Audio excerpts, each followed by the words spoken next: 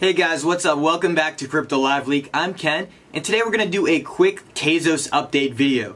So since our last Tezos video, there's been some big news headlines, and we'll discuss those here. So this week, May 15th, some news came out from the foundation, and Tezos Foundation is to support OCaml Labs and IMDEA Software Institute. So this is sort of a scientific research education partnership here. We'll dig deeper in a second. Also, some discussion in the Reddit forum has alluded to the fact that the Tezos developers have gone ahead and put some open source software out there that allows Tezos to be compatible with the Ledger Nano S. So that's pretty big news for th those of you wondering if you can store your Tezos on the Ledger once they get released.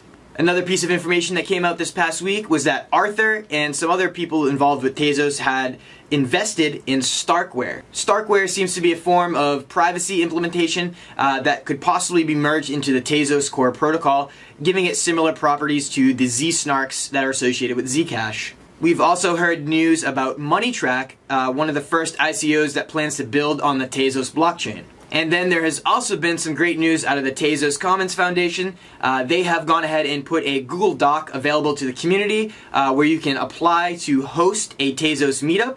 All you gotta do is go click on the link, fill out the information, and they will follow up with you shortly. I'll put that link and all these links we discuss in the description box below.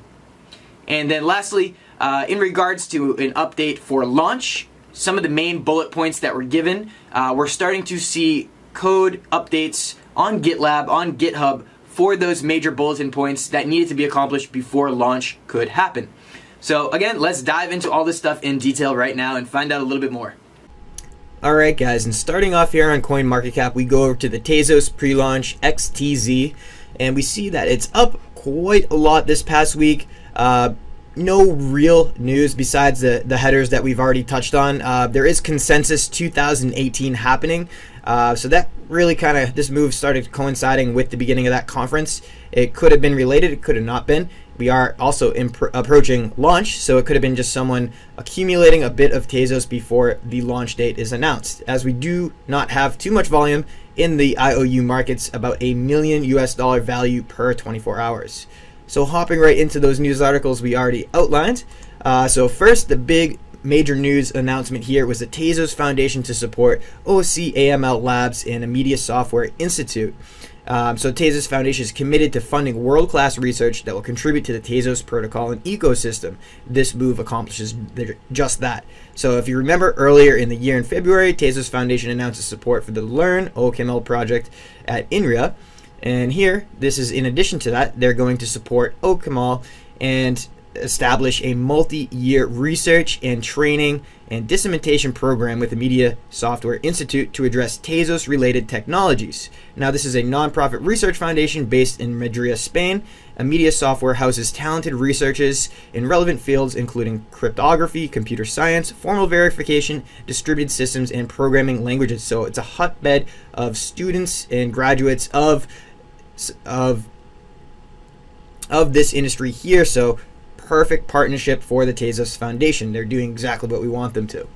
Next, let's touch on the implementation with the Ledger Nano S. So again, uh, Arthur had one of his developers create a open source uh, code that implements Tezos into the Ledger Nano S. Now Ledger actually didn't so come out and say they publicly support the Tezos, uh, but with this software add-on, you can have the wallet connected to the ledger that supports Tezos. Further down the line, once Tezos release, we do expect them to come out and make a public statement, issue their Ledger Nano S's with pre-supporting software for Tezos.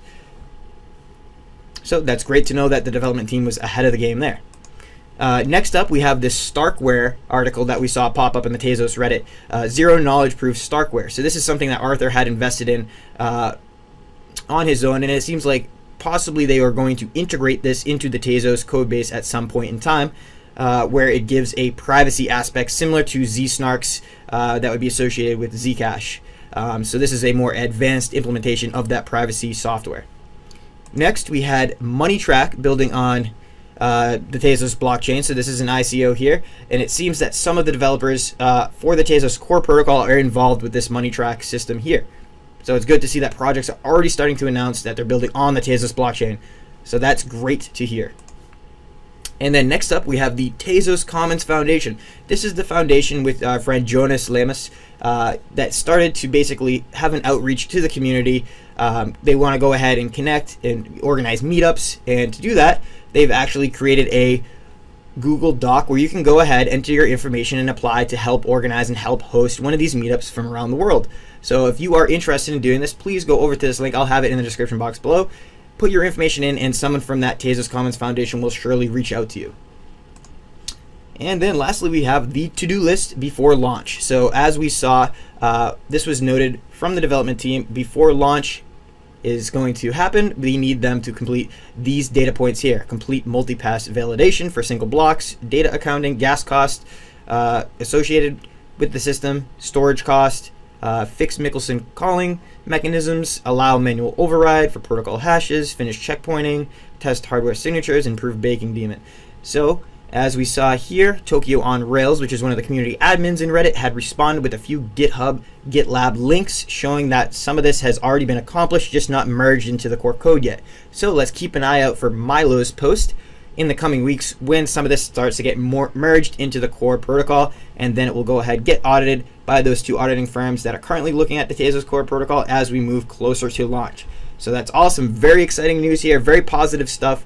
This is a very big project moving in the right direction. Again, as a community member, you can go out, reach out to Tezos Commons Foundation to see if you want to get more involved in one of those meetups that they are currently organizing.